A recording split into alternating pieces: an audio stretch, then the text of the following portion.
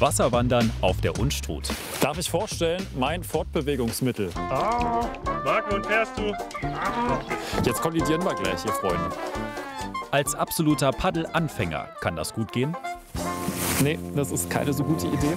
Meine Challenge: 20 Kilometer in zwei Tagen, wenn das Wetter mitspielt. Ey, jetzt sehen wir aus wie der nasse Hund hier. Meine Hose will ich euch ja nicht zeigen. Die Natur genießen, mich nachhaltig aus eigener Kraft fortbewegen, die Gegend rechts und links der Unstrut entdecken und viel erleben. Wie gut klappt Urlaub auf und am Wasser? Ich muss hier erst mal wenden, weil die Schleuse jetzt ist hoch.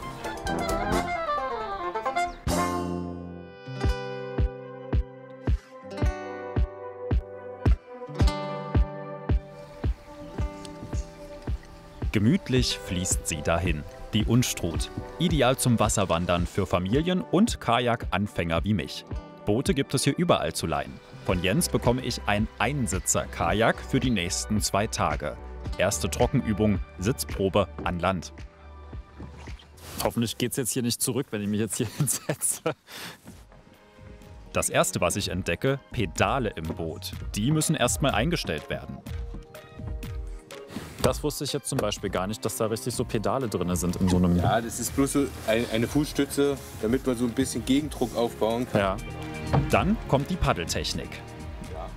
Und wenn du jetzt mal hier so ein bisschen die Hand so gleiten lässt, hier über, das, über den Paddelschaft, mal Mhm. locker so, lass mal so, so ein bisschen so die Hand bloß mal, merkst du, das ist oval.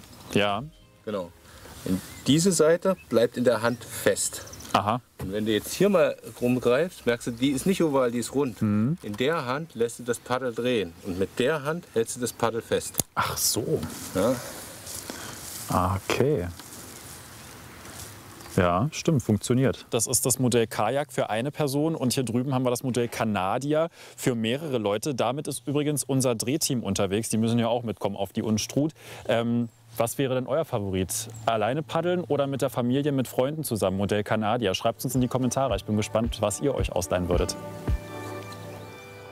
Egal welches Boot, wichtig ist wetterfeste Kleidung. Die Schwimmweste gibt's vom Verleiher. Genau wie eine wasserdichte Tonne für Wertsachen, Handy, Essen und Trinken.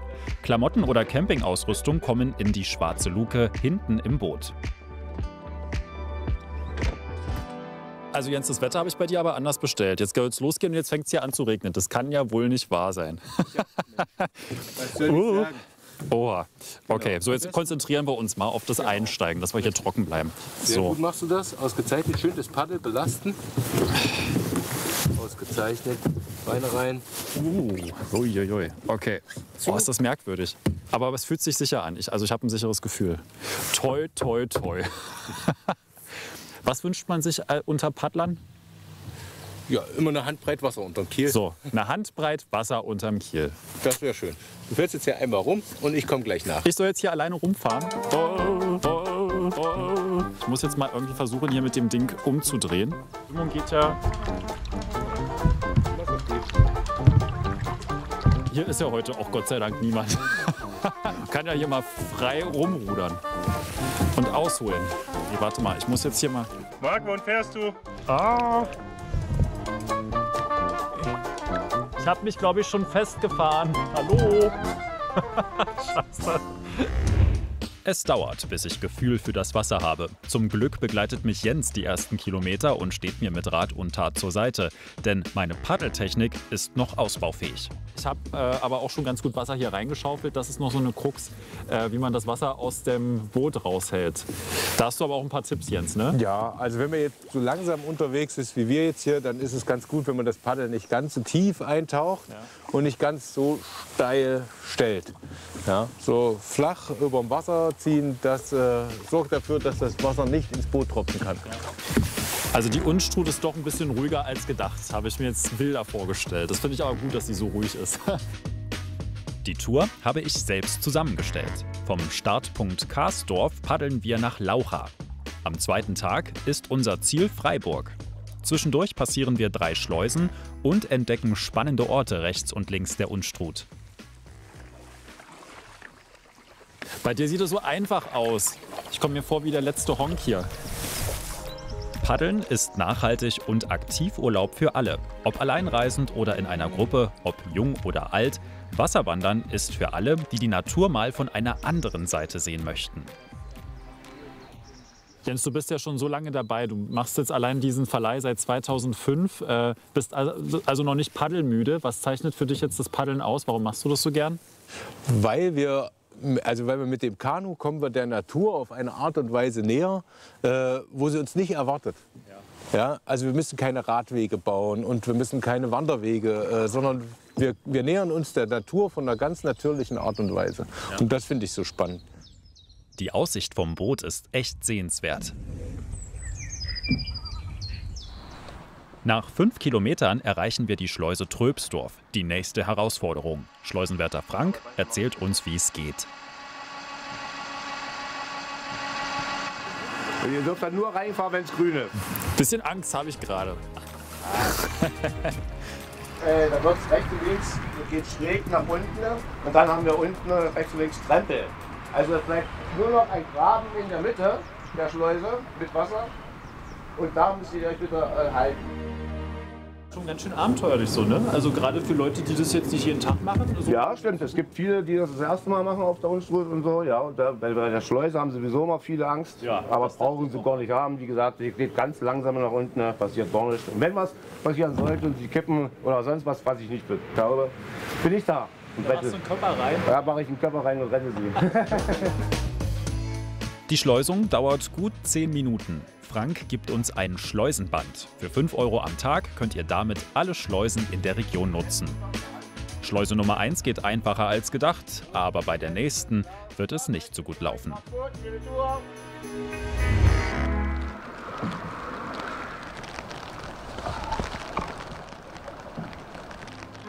Noch zwei Kilometer bis zum nächsten Zwischenstopp. Meine Armmuskeln merke ich noch nicht, dafür aber die Nässe.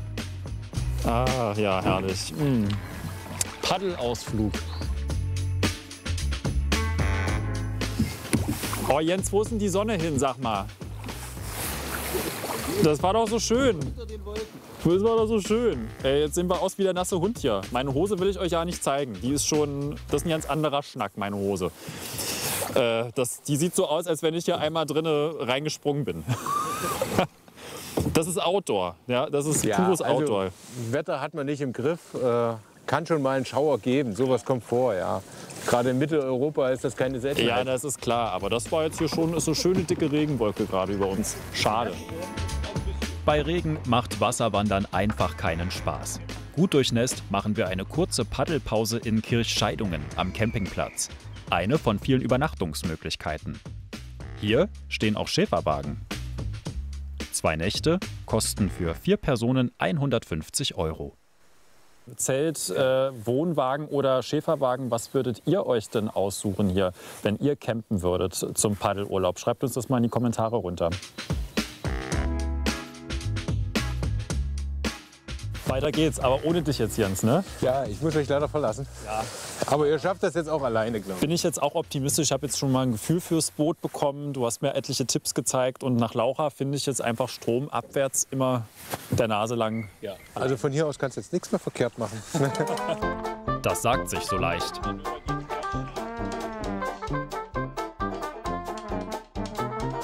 Jetzt kollidieren wir gleich, ihr Freunde. Passt mal schön auf. Was macht denn ihr da hinten? Das wissen wir auch nicht so genau.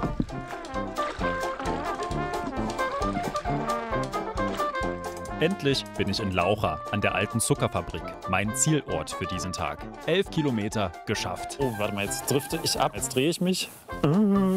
Erstmal hier ran donnern. Ja. Parken wir mal rückwärts ein.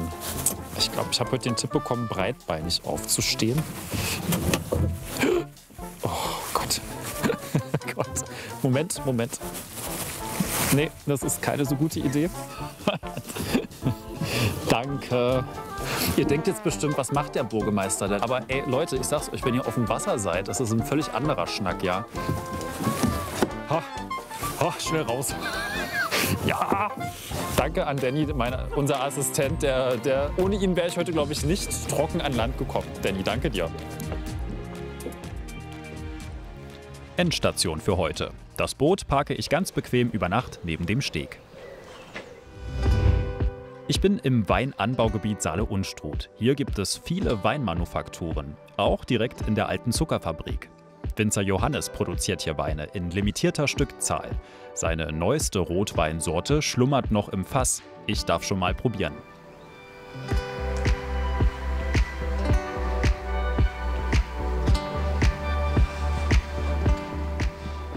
Total lecker, kann man total trinken. Du trinkst gerade einen Rotdiamanten.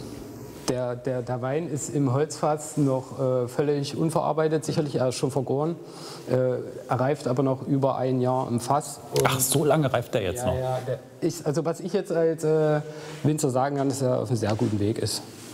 Wahnsinn. Ich, siehste, ich dachte, der kommt jetzt dieses Jahr neu auf den Markt, aber so, so schnell geht das dann gar nicht, ne? Naja, das ist halt immer die Frage, was man will. Will man schnell oder will man gut? Gerade beim Rotwein, da sollte schon äh, seine Zeit im, im Fass haben. Mhm. Auf dem Gelände der ehemaligen Zuckerfabrik gibt es Ferienwohnungen, die mir Besitzer Chris zeigt. Die eignen sich vor allem für größere Gruppen, denn die Wohnungen bieten Platz für bis zu sechs Personen. Und vom Balkon gibt's den Blick auf die Unstrut. Nach dem Tag freue ich mich jetzt einfach nur auf mein Bett. Denn morgen wird's wieder spannend.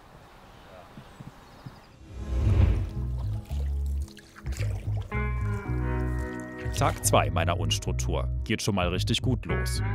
Das läuft jetzt wie ein Länderspiel mittlerweile. Ähm, ja, macht Spaß und vor allem das Wetter, ey. Das ist also Wetter, das ist so eine Aktivität, da muss man sich eine gute Woche für aussuchen, weil das macht viel, viel mehr Spaß mit Sonnenschein, als wenn man sich so zuregnen lässt. Mein Tagesziel ist Freiburg mit einigen Zwischenstopps. Knapp neun Kilometer liegen vor mir. Das erste Hindernis, die Schleuse in Laucha. Kamera läuft? Kamera läuft, ist gut. Ich muss hier erst mal wenden, weil die Schleuse jetzt ist hoch. Keiner da. Da weiß ich nicht, was machen wir jetzt. Das Wehr ist für mich unüberwindbar. So, Boot tragen, nützt ja nichts. Schleuse ist nicht besetzt und wir müssen ja trotzdem weiterkommen.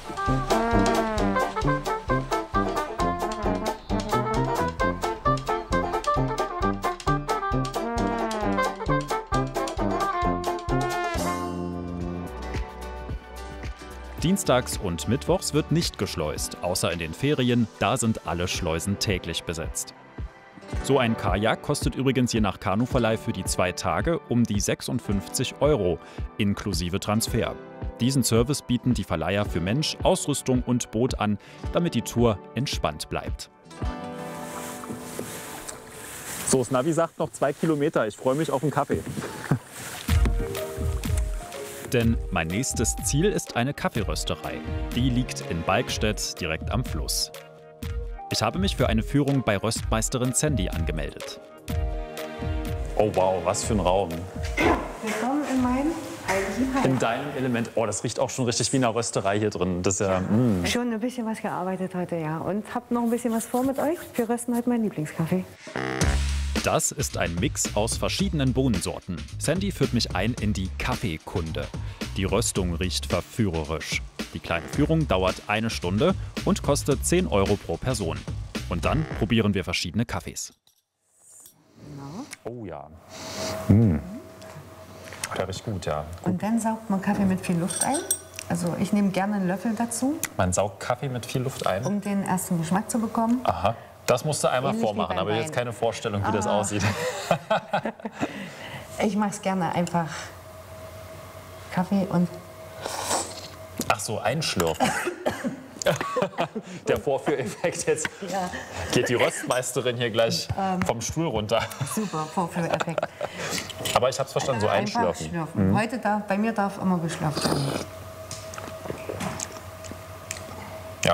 Ich bleib beim Trinken. Ja, ich auch. ich bleib, bleib, beim klassischen Trinken. Unser nächster Kaffee kommt, unser Alfred. Ach nee. Bitte, ich muss kurz durch. Das ist ja cool. Das ist unser Alfred. Das ist der Alfred. Jawohl. Mit einem Katzengesicht. Nee, nicht ganz. Es ähnelt schon einer Katze. Ja. ja. Liebe Gäste, Ihre Bestellung ist da. Vielen Dank. So habe ich jetzt auch noch keinen Kaffee bekommen hier von einem Roboter. Ja, ist super, ne? Das ist ja nicht schlecht. Wir können auch gerne uns bedanken. Vielen Dank. so, einmal fertig. Und jetzt fährt er zurück. Jetzt fährt er wieder zurück. Genau. Alfred ist heute nicht gut drauf, sonst bedankt er sich immer noch. Nach dem Koffeinkick bin ich wieder zurück auf der Unstrut. Topfit und inzwischen richtig gut eingepaddelt. In ein Kilometer kommt mein nächster Zwischenstopp, die Zettenbacher Mühle. 120 Jahre alt und immer noch funktionstüchtig. Hier wird Mehl gemahlen mit Wasserkraft und Riemenantrieb. So macht man eine Maschine an und so macht man sie wieder aus. Mit einem Holzstab. Volker ist hier Müller in dritter Generation und zeigt mir sein historisches Schätzchen. Liebhaber alter Technik kommen hier voll auf ihre Kosten. Eine Führung kostet 7,50 Euro. Das ist richtige Holzklasse. Da würde ich mich jetzt nicht trauen mitzufahren, aber Sie, Sie fahren noch damit, haben Sie gesagt. Wollen wir uns eine Etage einfach treffen? Ich nehme klassisch die Treppe und Sie nehmen Ihren äh, historischen Fahrstuhl. So machen wir das. So machen wir das. Ja. Bis gleich.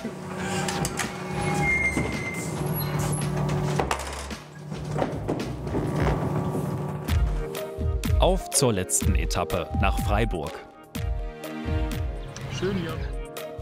Was für ein Panorama. Weinberge mit Steilterrassen, alten Trockenmauern und romantischen Weinbergshäuschen.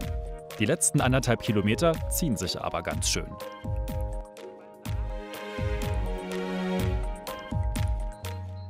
Da sind wir. Ich freue mich und crashe gleich hier nochmal zum Abschluss in die Wand rein. Verdammt. Ups. Äh, die Oberarme tun ein bisschen weh, die Schulter merke ich ein bisschen, aber ich bin richtig stolz, dass ich das geschafft habe. Es hat sich heute viel, viel besser gepaddelt. Vor allem meine Hose ist trocken. Ja, ich habe heute gar nicht so viel Wasser reingeschaufelt ins Boot. Und jetzt versuche ich hier mal zu euch zu kommen an die Treppe, dass ich auch aussteigen kann. Weil eine Etappe haben wir ja noch vor uns, die Stadtführung. Die wollen wir ja noch mitmachen. Nee, so wird das nichts. Warte mal.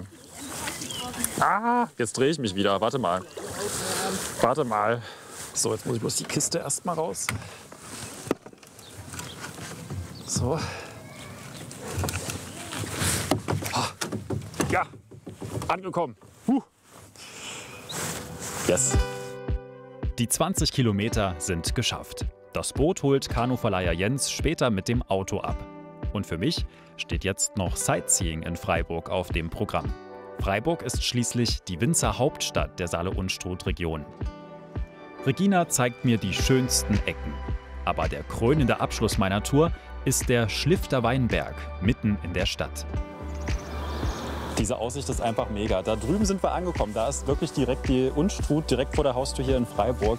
Was für tolle Tage waren das. So viel gesehen, so viel erlebt, alles mit dem Paddelboot angesteuert. Und allein das hat super viel Spaß gemacht. Aktivurlaub inmitten von der Natur. Das entschleunigt, das äh, bringt einen mal richtig runter und das ist wirklich nachhaltig. Und äh, eine Lehre, die ich noch draus gezogen habe, ich gucke mir nächstes Mal noch mal ein bisschen besser an, wann die Schleusen alle aufhaben, weil äh, sich durchschleusen zu lassen ist doch wesentlich entspannter als das Boot rauszuziehen und dann ein paar hundert Meter zu tragen. Da in Mitteldeutschland gibt es noch jede Menge anderer Ausflugstipps. Jeden Mittwochabend seht ihr hier auf diesem Kanal ein neues Hinreisen, dürft ihr gerne abonnieren. Urlaub auf dem Wasser geht übrigens nicht nur mit dem Paddelboot, sondern auch mit dem Hausboot. Hat meine Kollegin Lisa für euch ausprobiert. Auf der Havel könnt ihr euch hier anschauen. Und ansonsten sage ich Dankeschön, dass ihr mit dabei wart und bis zum nächsten Mal hier bei Hinreisend. Tschö.